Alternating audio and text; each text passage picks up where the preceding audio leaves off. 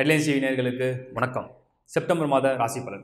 ஒரு ஒரு நிமிடம் கொஞ்சம் பொறுமையாக நான் என்ன சொல்கிறேன்னு கவனிங்க. ஒரு ராசி பலன் அப்படிங்கிறது மாதந்தோறும் பொதுவாக கணிக்கப்பட்டு ஒரு ராசிக்கு அதாவது பன்னிரெண்டு ராசிக்கும் பொதுவாக கிரகங்களுடைய நகர்வில் கணிக்கப்பட்டு உங்களுக்கு ப்ரிடிக்ஷன்ஸ் தான் நான் கொடுக்குறேன். இந்த ராசிப்படி மட்டும்தான் நடக்குமா அப்படின்னா அதுக்கு சில விளக்கங்கள் நான் ஏற்கனவே கொடுத்துருக்கேன். ராசியா லக்னமா அப்படின்ற தலைப்பில் ஒரு வீடியோ கொடுத்துருக்கேன். இப்போ மறுபடியும் நான் உங்களுக்கு வந்து கிளியராக எக்ஸ்பிளைன் பண்ணுறேன் ஒரு லக்னம் அப்படிங்கிறது உங்களுடைய ஆன்மா உங்களுடைய உயிர் உங்களுடைய விதி அப்படிங்கிறது உங்களுடைய லக்னம். ஸோ அசண்டன்ட் அப்படிங்கிறது லக்னம். அதுதான் உங்களுடைய முதல் பாவம். அதுதான் உங்களுடைய பிறவி ஜாதகம். உங்களுடைய பேர்த் சார்ட் அப்படிங்கிறது உங்களுடைய லக்னத்தின் அடிப்படையில் உள்ள யோகங்கள் தசாபுக்திகளுடைய கால்குலேஷன் படி தான் நடக்கும்.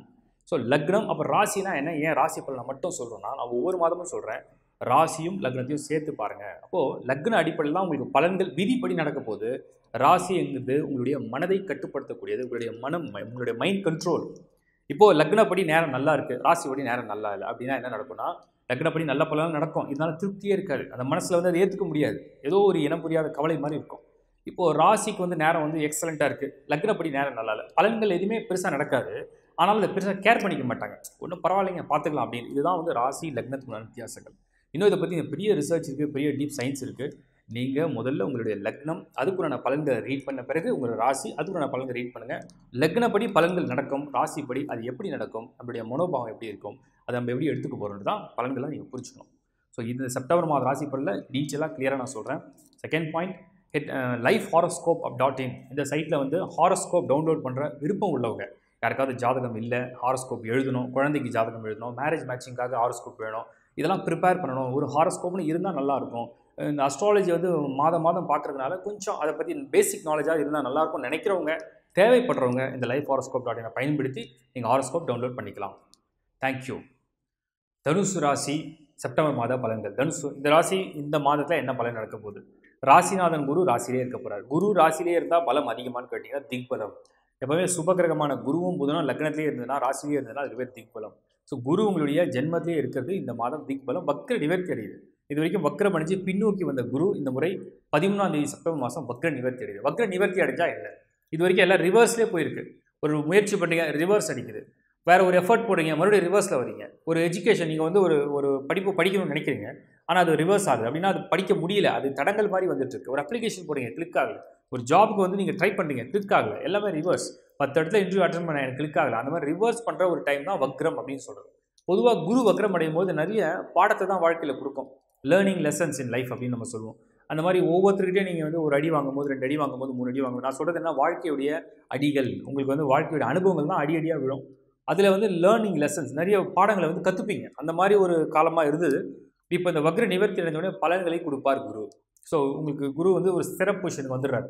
அவர் அவருடைய இடத்துல இருக்க போகிறார் ஆக்டிவாக இருக்க போகிறார் அர்த்தம். குருவுடைய பார்வைகள் வந்து உங்களுக்கு ஐந்து ஏழு ஒன்பதில் பதியும் பொழுது உங்களுக்கு அந்த பலம் கிடைச்சிரும்.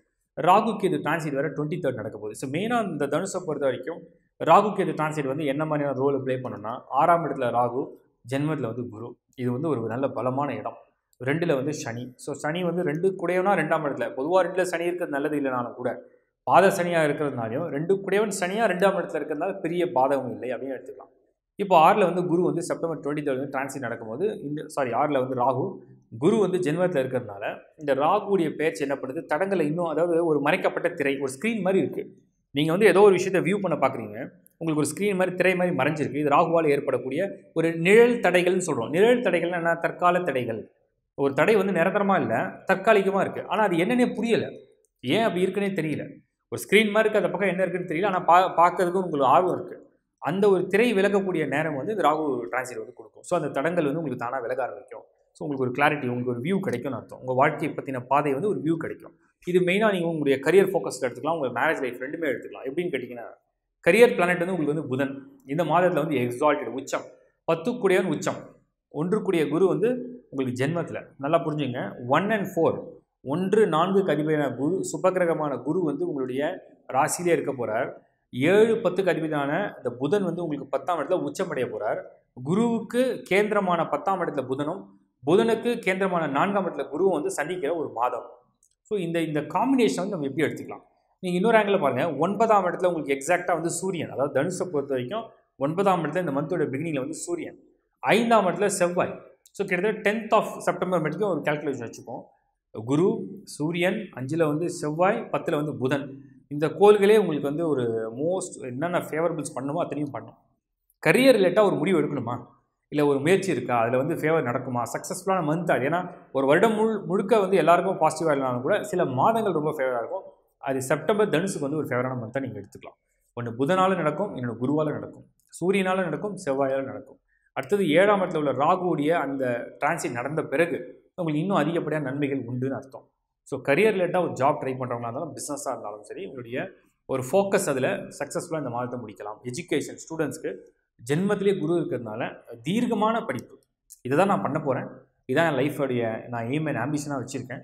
இதுதான் என்னுடைய வாழ்க்கையே நான் வந்து மாற போகிறேன் அப்படின்னு நினைக்கிறவங்களுக்கு ஸ்டூடெண்ட்ஸ்க்கு வந்து ரொம்ப ஒரு ஃபேவரான மந்த்தாக இந்த புதன் வந்து நம்ம எடுத்துக்க முடியும் குருவையும் எடுத்துக்க முடியும். சூரியன் ஒன்பதாம் இடத்துல இருக்கிறதுனால இது வரைக்கும் ஆதரவே இல்லை சப்போர்ட் பண்ண மாட்டாங்க யாரும்.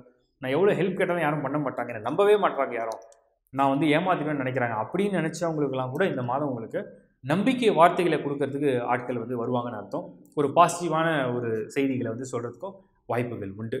சனி வந்து உங்களுக்கு செகண்ட் ஹவுஸில் இருக்கிறதுனால யாருக்கும் வந்து வாக்குறுதி மட்டும் கொடுக்க வேண்டாம் நான் இதை செஞ்சுடுவேன் இந்த டைமில் பண்ணிவிடுவேன் நிச்சயமாக நான் வந்து முடிச்சு கொடுத்துறேன். அப்படின்னு வாக்குறுதி கொடுக்காம நான் கண்டிப்பாக பார்க்குறேன் நான் உங்களுக்கு சொல்கிறேன் ரெண்டு நாள் டைம் கொடுங்க. கொஞ்சம் டைம் வாங்கிக்கிங்க ஏன்னா காலனை வந்து உங்களுக்கு வந்து வெல்லக்கூடிய இந்த சனியால் இந்த என்ன இந்த சனி என்ன பண்ணுன்னா ஒரு டைம் ஃப்ரேம் பண்ணினா அந்த டைம் ஃப்ரேமில் நம்மளை வந்து கொலாப்ஸ் பண்ணிவிடும்.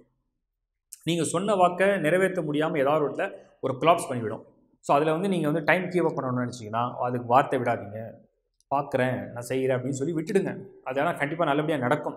சொன்னால் தான் ஏதாவது தடங்கள் வந்து நிற்கும் அது கொஞ்சம் கண்ட்ரோல் பண்ணிப்பீங்க. சுக்கரன் வந்து உங்கள் ராசியை பொறுத்த வரைக்கும் ரொம்ப ஃபேவரான பிளான்ட்டாக நம்ம எடுத்துக்க முடியாது. பட் சுக்கரன் எங்கே பொசிஷனாக இருக்குது அப்படின்னு நம்ம பார்க்கும்போது அதாவது தனுஷை பொறுத்த வரைக்கும் கடகத்தில் வந்து மந்தோட பிகினில் எட்டாம் இடத்துல எட்டில் சுக்கரன் வந்து ஆறு புரியனா எட்டாம் இடத்துல மறைவு. பதினொன்று புரியனா எட்டாம் இடத்துல மறைவு. இதை வந்து ரொம்ப விசேஷமாக நம்ம போட்டப்படல பட் சுக்கரன் பார்வை வந்து ரெண்டில் விழுது. குடும்பஸ்தானத்தை வந்து சுக்கரன் பார்வை விழுது. ஒரு நல்ல விஷயமா எடுத்துக்கலாம். ஓவரால் பலன் என்னென்னா பூமி யோகம் உண்டு. வேலை சம்மந்தப்பட்ட பிரச்சனைகளுக்கு வந்து தீர்வு உண்டு. திருமண தடைகள் நீங்கி பலன் உண்டு. கல்விக்கு பலன் உண்டு. ஆரோக்கியத்துக்கும் பலன் உண்டு. சுபமான மாதம். செப்டம்பர் தனுசு ராசிக்கு சோலாங் டைமுக்கு அப்புறம் ஒரு நல்ல மாதமாக பார்க்க முடியுது. வாழ்த்துக்கள்.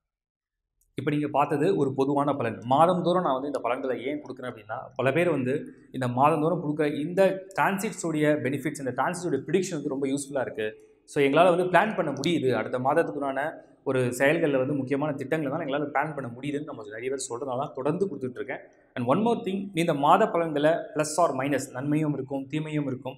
அது அப்படியே தான் நடக்குமானா அப்படி எடுத்துக்க வேண்டாம். அதுக்கு தான் ஒவ்வொரு மாதமும் உங்களுடைய சுய ஜாதகத்தை கொஞ்சமாவது நீங்கள் ரீட் பண்ணி வச்சிங்க. நீங்கள் செல்ஃபாக ரீட் பண்ணுங்கள் உங்களுக்கு முதல்ல உங்களை பற்றி தெரிஞ்சாதான் ப்ரிடிக்ஷன் சொல்லும் போதோ இல்லை ப்ரிடிக்ஷன் நீங்கள் யாராவது ஃபாலோ பண்ணும் போதோ ஈஸியாக இருக்கும். இதையும் தாண்டி உங்களுக்கு வந்து ஏதாவது ஸ்பெசிஃபிக் கொஷின்ஸ் எனக்கு வந்து ஜாப் ரிலேட்டாக எனக்கு ஒரு முடிவு எடுக்கணும். ஒரு பிஸ்னஸ் ரிலேட்டாக எனக்கு ஒரு முடிவு எடுக்கணும். திருமணம் சம்மந்தப்பட்ட விஷயங்களை இது நல்ல டைமாக நான் பார்க்கணும். நடக்குமா?